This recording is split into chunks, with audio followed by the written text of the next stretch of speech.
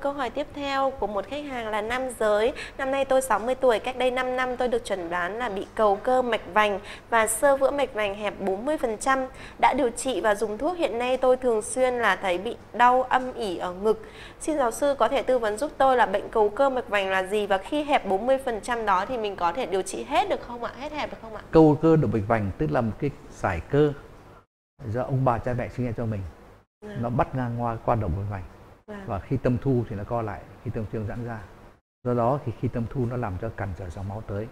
Nhưng mà cái máu vào động mạch vành lại và nó dinh dưỡng cơ tim để chủ yếu là cái tâm tâm trương.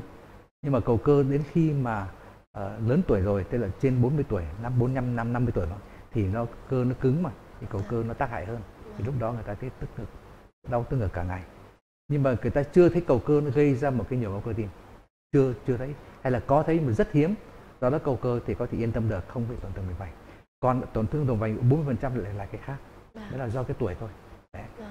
thì tôi nghĩ đây cầu cơ tôi xin trả lời cầu cơ không gây ra chết người dạ. nhưng mà khi cầu cơ rồi thì làm máu có cũng tuy là nó có cản trở thành kỳ tâm trương tập tâm tâm thu nhưng cũng là cản trở do đó khi cầu cơ có cầu cơ rồi chúng ta vẫn nên dùng thuốc giãn mạch vành vẫn tốt thôi nhưng mà tôi xin nhắc lại cầu cơ không gây chết người Thế còn với cái tỷ lệ hẹp mạch vành trung bình là khoảng 40 hoặc 50% thì nếu như mà mình điều trị tốt thì cái tỷ liệu còn rằng là có hết hay được hẹp cái tình trạng hẹp mạch vành Nên đấy như tôi nói có trường hợp mà ta dùng cái thuốc uh, uh, tiêu mỡ, tiêu vỡ giữa động mạch và trước uh, và cái yếu tố nguy cơ nó huyết áp cao làm giảm huyết áp xuống thì có thể làm cho cái mảng vữa sơ động mạch đó nó nhỏ đi thậm chí hết.